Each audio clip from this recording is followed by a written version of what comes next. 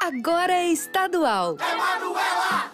As mulheres estão ocupando cada vez mais o seu espaço. Estão na política, são empreendedoras, são chefes de família.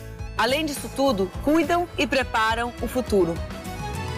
Já avançamos muito, mas ainda há mais por conquistar. Em Brasília, fui autora do projeto de lei pela igualdade salarial entre homens e mulheres. Como deputada estadual, vou trabalhar pelo apoio à mulher que estuda, trabalha e é empreendedora. Participa, conversa com os teus amigos. Juntos, fazemos uma política diferente. Sou Manuela 65656.